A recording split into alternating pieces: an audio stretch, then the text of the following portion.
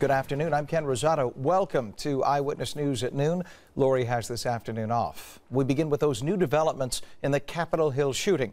Miriam Carey was shot and killed by police after ramming her car into a gate at the White House, then leading officers on a chase. Carey lived in Connecticut and is originally from Brooklyn. Family members say that she had a history of mental illness, and right now investigators have no motive for yesterday's incident. Meanwhile, authorities have removed evidence from Carey's home in Stamford. That's where Eyewitness News reporter Marcus Solis begins our coverage. Marcus. And Ken Stamford police will only confirm that they were called to this complex in December for a non-criminal interaction with Miriam Carey. But sources tell ABC News that during that time she made some wild claims, including that she was the prophet of Stamford and that her apartment was under electronic surveillance by President Obama.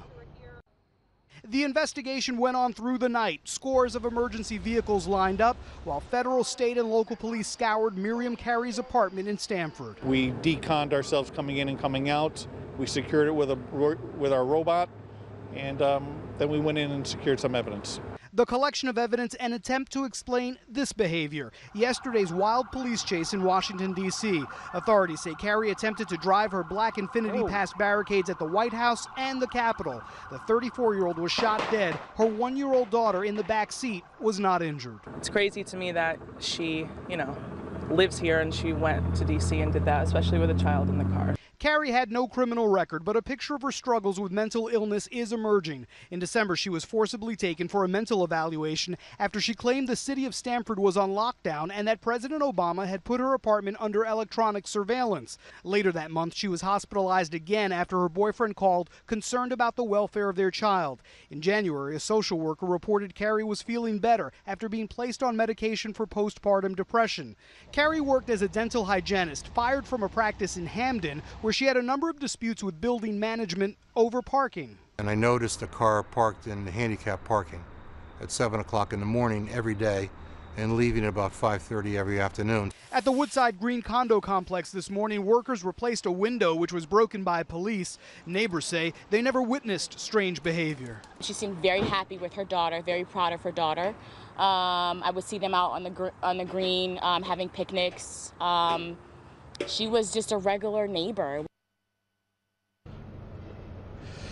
Well, Stamford police say they are now done here at the location. Residents free to come and go. Some residents uh, were evacuated overnight while this investigation went on. As for Carey's one year old daughter, Erica, she remains in protective custody. And we're live in Stamford. Marcus Solis, Channel 7, Eyewitness News.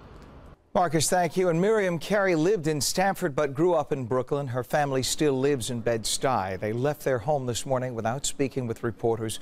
Carey's sister, Valerie, is a former NYPD sergeant. Last night, police went to the apartment to question the family. So far, no one who knew Miriam Carey can explain the actions of the woman who seemed to be on the right track. They're like any other family, you know, you're disturbed about these different things, but, you know, we have to, you know, mend the family first and find out what happened down in D.C. I grew up with her, and it doesn't seem like she would go through something like that. Like, it's just, like, shocking. Well, Carey's relatives are expected to make a statement this evening. And as we've reported, Miriam Carey's mother says her daughter struggled with postpartum depression. ABC News chief medical editor Dr. Richard Besser cautions that there may be several factors that played into Carey's me mental state. He says the typical symptoms of depression include lack of interest in the world, trouble sleeping, and lack of appetite. We only know what her mother said. We haven't seen her mental mental uh, health records. And this sounds very unusual. Usually with depression, you have lack of energy, trouble getting out of bed. Not a problem with reality. There, there's th something called postpartum psychosis where you lose connection, and that would be more likely. But for someone with depression to get in a car and drive from Connecticut to Washington, that, that doesn't sound like, like depression. Dr. Besser also emphasized that postpartum depression is treatable. Stay with Eyewitness News and ABC News for any new developments in the Capitol Hill shooting.